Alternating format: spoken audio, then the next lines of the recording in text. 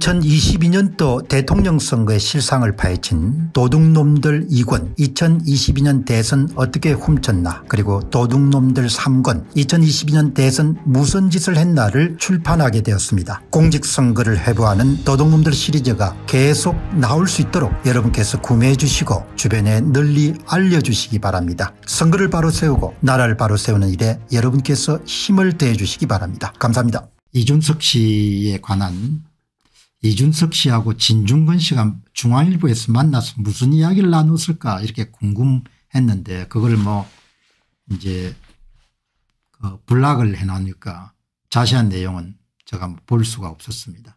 그런데 이번에 이제 며칠 지나가지고 중앙일보 측에서 이제 기사를 풀었네요. 풀었는데 뭐 제가 뭐 이 사람들 이야기를 또 듣기 위해 가지고 예, 그런 동영상을 뭐 몇십 분 동안 봐야 될 이유는 없으니까 이제 오고 간 이야기 가운데 정치 논평이니까 예, 몇 가지 이야기를 제가 하도록 그렇게 하겠습니다. 음. 진중근 씨가 이준석은 대통령을 공격하는 세력이란 그런 이미지를 보수 지지층에게 줬다. 이렇게 아마 진중근 씨가 이준석 씨하고 이제 중앙일보 초청 그런 대담해서 이야기를 한 거지 않습니까 이게 뭐 사실이지 않습니까 이준석은 대통령을 공격하는 세력이란 인식을 보수 지지층에 준 게 아니고 예, 실질적으로 이준석이 대통령을 공격했으니까 공격했으니까 그런 이미지가 생긴 거죠. 공격을 안 했는데 그런 이미지가 생긴 거 아니고 이준석은 내놓고 윤석열 후보 시절부터 시작해서 공격을 한 거 아닙니까 마치 윤석열 후보가 선거에서 떨어지기를 바라는 것처럼 그냥 바라는 것도 아니고 간절히 바라는 것처럼 이거 뭐 팩트한 거죠. 이준석의 대답은 당대표를 자르는 방향으로 갔다. 나는 출구가 없었다. 순응하면 정치적 매장이었다. 예. 모든 여러분들 사건의 출발점은 이 이준석이란 친구가 갖고 있는 특징은 일어난 사실 자체를 받아들이지 않는 거지 않습니까 좌파적 사고를 갖고 있는 사람의 전형적인 특징은 팩타를 받아들이지 않고 팩타를 자기한테 유리하게 해석하는 거지 않습니까 그래서 모든 책임을 다른 사람에게 돌리는 거지 않습니까 이게 보시기 바랍니다. 당대표를 자르는 방향으로 갖고 나는 출구가 없었다. 이게 팩타가 아니거든요. 지가 유성온천인가 가가지고 잠을 잔 거 아니에요. 그거를 뭐죠? 우연히 가세연에서 밝혀가지고 세상이 소란스럽게 된 거 아닙니까? 가서 잠을 잤든 아닙니까? 잠을 안 잤든 간에. 그것을 가세연이 그런 까발기지 않았으면 그냥 넘어갔겠죠 뭐.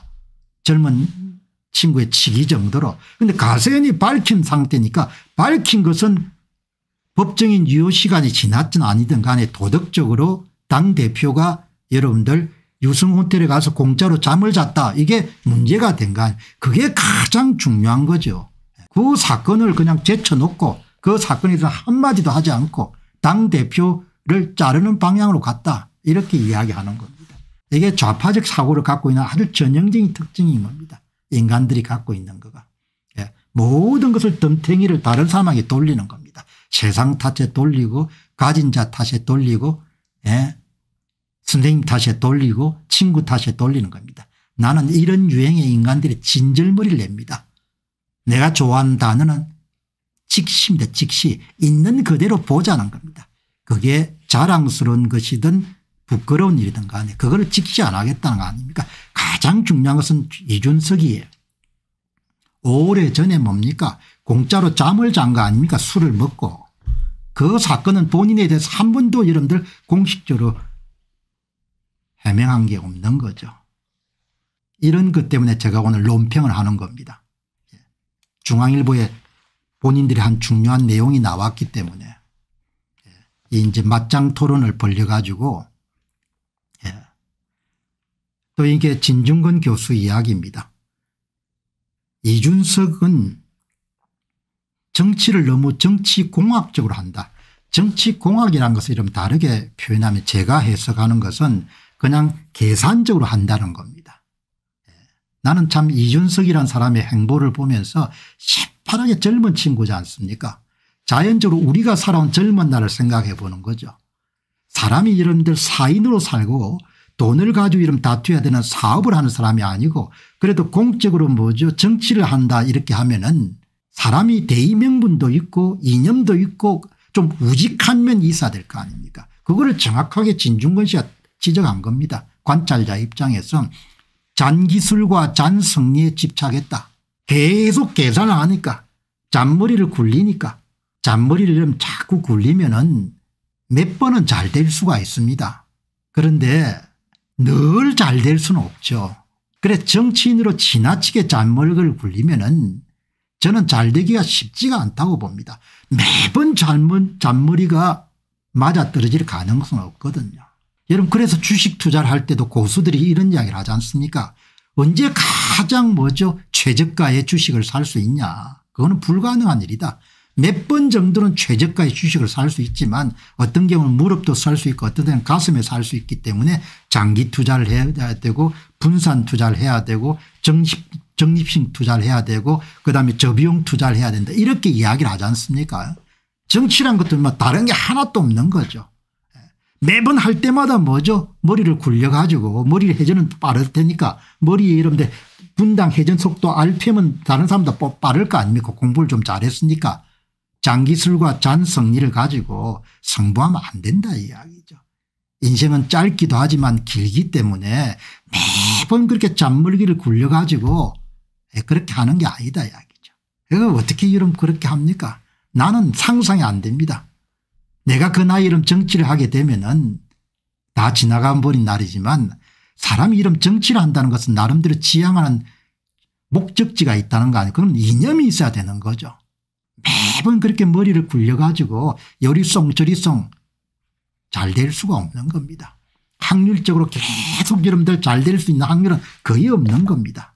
그리고 이준석이라는 사람은 그렇지 않습니까 아직 나이가 젊고 가야 될 길도 멀고 그런 거 아닙니까 그러면은 2020년도 4.15 총선 같은 게 발생하게 되면은 약간 열어둔 자세를 보일 필요가 있는 거죠. 선거에서 무슨 일이 일어났는지를 시간을 두고 점검물이 축적되면서 본인의 입장을 정해가면 되는 겁니다. 초기부터 그냥 내놓고 입장을 정해가지고 상대방을 공격하지 않습니까 그거는 뭐냐 의도가 있다는 겁니다. 머리를 굴려보니까 그쪽 편에 서는 것이 남는 장사라고 본 겁니다. 하태경이도 마찬가지고 이준석도 마찬가지지 않습니까 인생들 그렇게 사는 게 아니죠. 물론 내가 이런 이야기를 한다 해가지고 그 양반들이 성성장구하는 것에 내가 브레이크를 걸 수 없겠지만 최소한 나는 논평을 하는 입장에서 사람들이 그렇게 살면 안 된다는 거죠. 예. 거짓말 하지 말라는 겁니다.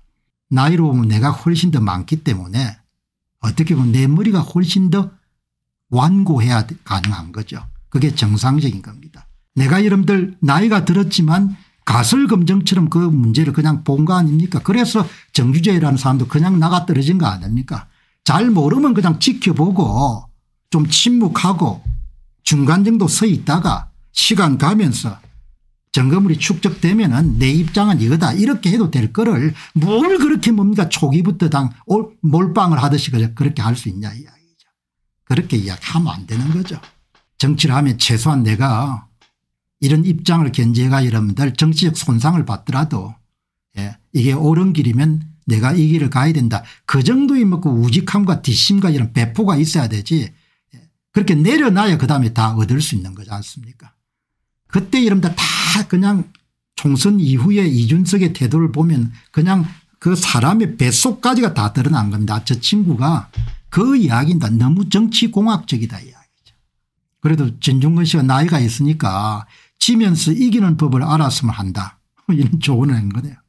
이준석 씨 이야기는 대통령 선거 지방선거 승리 이후에 더는 당대표로서 명예가 대해질 게 없었다. 상대가 칼을 들고 온 상황에서 취할 수 있는 자세가 그렇게 많지 않았다. 예, 뭐 그거는 오버액션이라고 그렇게 볼 수 있는 거죠.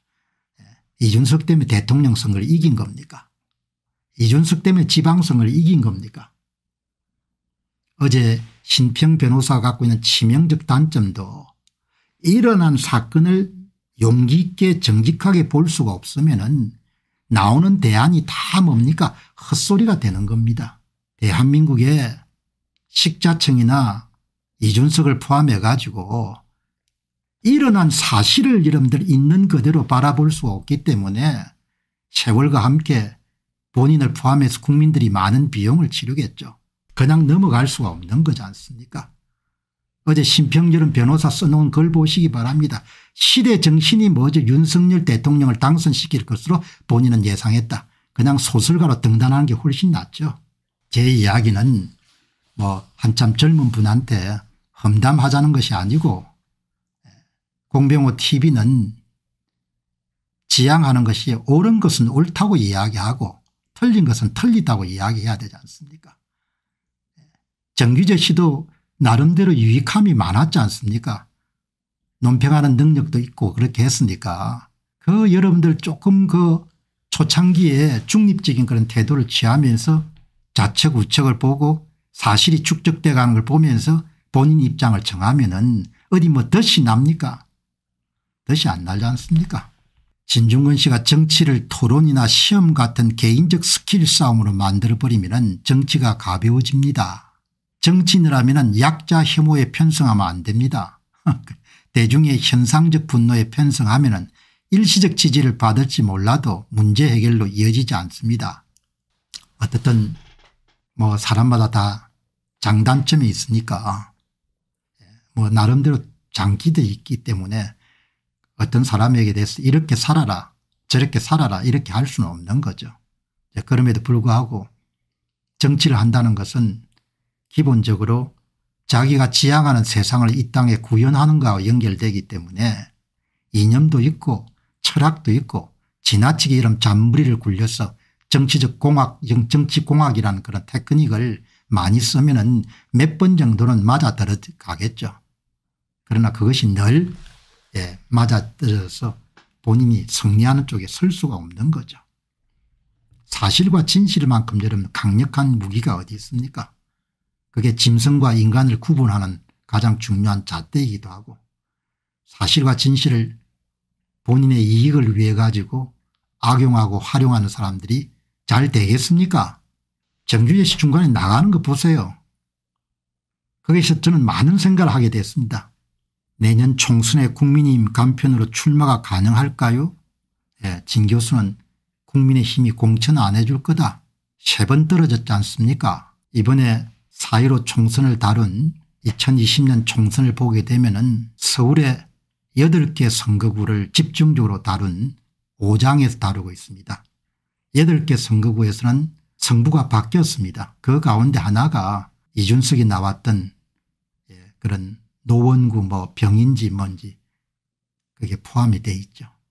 사람들이 참 겁이 없는 거죠. 사실을 깔아 뭉개고도 영원히 덮을 수 있다고 말이 됩니까 이번에 여러분들 강남에서 일어난 그 사건도 보면은 도대체 정신들이 있는 친구들인지 모르겠어요. 나이가 30대 애들이. 대한민국의 cctv가 곳곳이 여러분들 깔려 있고 어떻게 여러분들 성, 이 범죄가 발각이 안 될 겁니까? 몇 시간 만에 발각되는가? 그게 중요한 건데.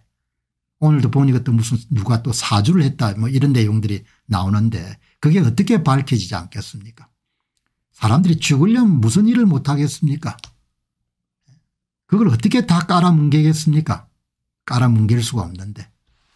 참 사람들이 어리석은 겁니다. 잠시 동안은 어떻게 뭐 CCTV를 예, 가리거나 뭐 이렇게 해가지고 그것도 한 사람이 아니고 4명 정도 관여된 범죄라면 그걸 어떻게 이런 대한민국처럼 좁은 사회에서 그걸 다 숨길 수 있겠습니까 사람이 죽으려면 무슨 일을 못하겠습니까 많은 참 어리석은 친구들이다 그런 생각하는 거죠. 어쨌든 뭐 좀 진실되게 삽시다. 진심을 갖고 눈앞에 이게 너무 연연히 하지 말고 예, 진실되게 진심을 갖고 뚜벅뚜벅 가다 보면은 돈을 버는 기회도 있고 권력을 잡을 기회도 있을지 누가 압니까 예, 그걸 잡기 위해서 이리 뛰고 저리 뛰고 해가 잡힙니까 최소한 돈은 이리 뛰고 저리 뛰고 해가 잘 안 안 벌어지는 것 같습니다. 권력도 마찬가지인 거죠. 이리 뛰고 저리 뛰고 해 여러분들 뭐 잔머리를 굴려가지고 별별 짓을 다 해가지고 여러분들 그게 벌어집니까 그게 안 될 것 같아요. 예. 대한민국 공직선거의 문제점을 파헤친 첫 번째 책을 펴냈습니다. 제목은 도둑놈들 1권 선거 어떻게 훔쳤나 2017년 대통령 선거로부터 2022년 대선과 지방선거까지 전산 조작을 이용해서 후보별 득표수를 어떻게 조작했는가를 낱낱이 분석한 책입니다. 선거를 바로 세우고 나라를 바로 세우는 일에 여러분께서 힘을 더해 주시기 바랍니다.